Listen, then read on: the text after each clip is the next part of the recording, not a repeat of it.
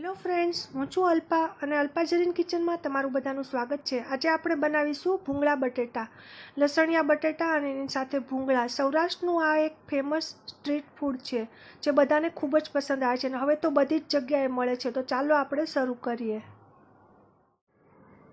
ભૂંગળા બટેકા બનાવવા માટે મેં અહીંયા ભૂંગળા લીધા છે, લસણવાળી ચટણી લીધી છે ધાણા જીરું પાવડર લીધું છે, બટેકા બાફીને લીધા છે. મોટા બટેકા હોય તો તમે આ રીતે ટુકડા કરી લેવાના, વર નાના હોય તો આખા રાખવાના. અહીંયા હળદર પાવડર પાંચ ચમચી, આમચૂર પાવડર એક ચમચી. અને પાણી લીધું છે આપણે એ જરૂર પ્રમાણે નાખીશું. તો સૌથી પહેલાં આપણે એક બાઉલમાં ચટણી બનાવી લઈએ, જેનાથી આપણે બટેકા વઘારવાના છે. તો એના માટે આપણે જે લસણવાળી ચટણી છે, એ લસણ ખાંડી અને અંદર કાશ્મીરી મરચું નાખેલું છે. આપણે એક ચમચી લેશું અત્યારે અને આમચૂર પાવડર નાખશું હળદર, ધાણા જીરું ને આમચૂર પાવડર બધું જ આપણે મિક્સ કરી દઈશું અને પાણી આપણે નાખીશું તો થોડું અમથું પાણી પહેલાં નાખીશું, પછી જરૂર જણાય તો વધારે લેશું. અને આને આપણે સારી રીતે મિક્સ કરી દઈશું આ રીતે. આપણે સ્પૂનની મદદથી આ રીતે મિક્સ કરતું જવાનું છે. હવે આપણી આ ચટણી બની જાય છે. આને આપણે બટેકા વઘારવામાં આ ચટણી યુઝ કરવાની છે.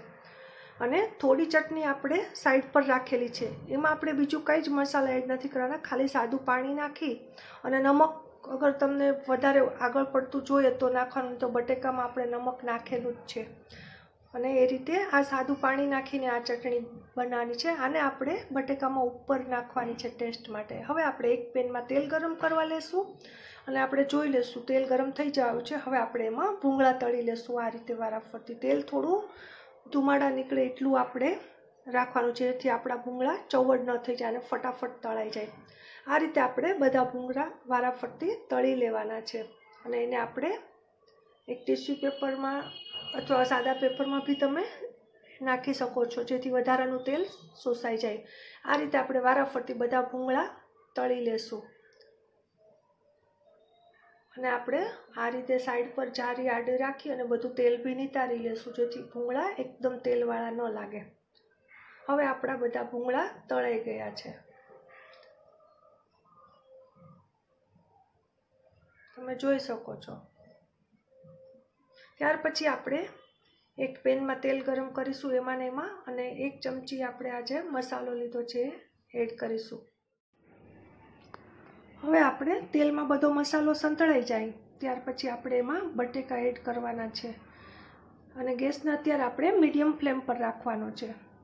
બેથી ત્રણ મિનિટ માટે આપણે સાંતળી લેશું આ રીતે. મસાલામાંથી તેલ છૂટું પડવા લાગે, ત્યાર પછી આપણે એમાં બટેકા નાખી દઈશું અને બટેકાને આ રીતે આપણે અંદર નાખી અને એમાં બરાબર બધો મસાલો મિક્સ કરી દઈશું આ રીતે આપણે ઉપર નીચે કરી અને બધો મસાલો મિક્સ થાય બેથી ત્રણ મિનિટ માટે આ રીતે આપણે ગેસ પર રહેવા દઈશું મીડિયમ ફ્લેમ પર. હવે આપણા બટેકા તૈયાર છે લસણિયા. તો આપણે એને એક બાઉલમાં નીકાળી દઈશું સર્વિંગ બાઉલમાં આ રીતે.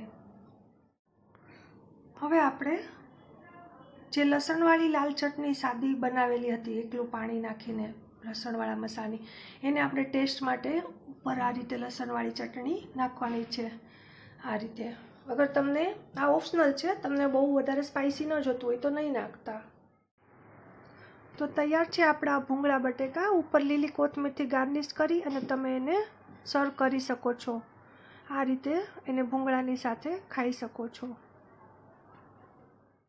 ફ્રેન્ડ્સ, તમને મારી આ ભૂંગળા બટેકા બનાવવાની રીત પસંદ આવી હોય, તો જરૂરથી આ રેસીપીને શેર કરજો લાઇક કરજો અને ચેનલને સબસ્ક્રાઈબ કરવાનું ભૂલશો નહીં. એ બિલકુલ ફ્રી છે.